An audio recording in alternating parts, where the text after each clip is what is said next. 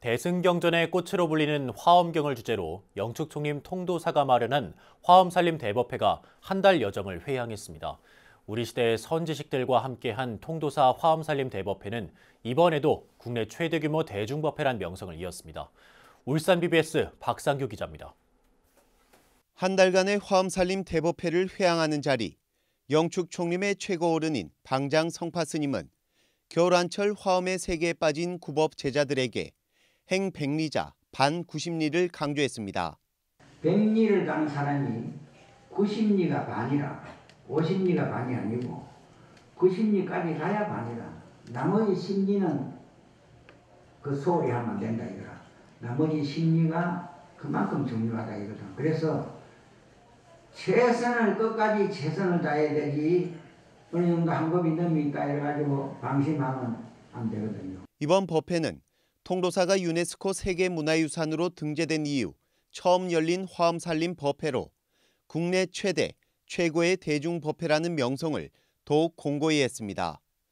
먼저 법산 스님과 자강 스님, 지한 스님 등 전국 최고의 성교율 스승들을 초청해 화엄경의 진수를 대중에 전했습니다.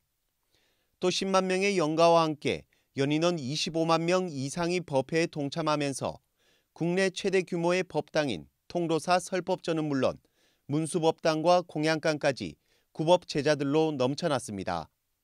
특히 회양날에는 2만여 명의 불제자들이 동참해 환경 속 부처님의 가르침을 되새기고 모두의 공덕을 함께 나눴습니다.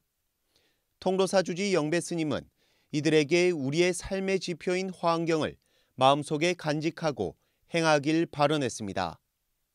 우리가 어떤 어떤 생명을 가지고 이 세상에 왔고 이 생명의 본체가 무엇인지 부처님의 진리의 말씀을 통해서 우리가 배우고 3달 동안 공부를 했습니다. 금년 2019년도는 광경이 말씀하신 부처님께서 말씀하신 인생의 길을 여러분이 잘 가시길 바랍니다. 제48회 영축총림 통도사 화엄살림 대법회는 한 달간의 대장정을 마쳤지만 화환경 속 부처님의 가르침은 수십만 불자들에게 삶의 지표이자 힘의 원천으로 이어질 것입니다. 양산 통로사에서 BBS 뉴스 박상규입니다.